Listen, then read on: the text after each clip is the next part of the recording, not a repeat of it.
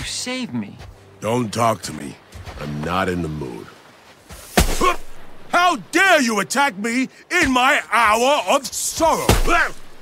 Why did you save me? Because you saved me first, which clearly gave you a tactical advantage I do not understand. It wasn't a tactic. I couldn't just let you die. Why? I've been trying to destroy you since the moment we met. Uh, You saved me. Don't talk to me.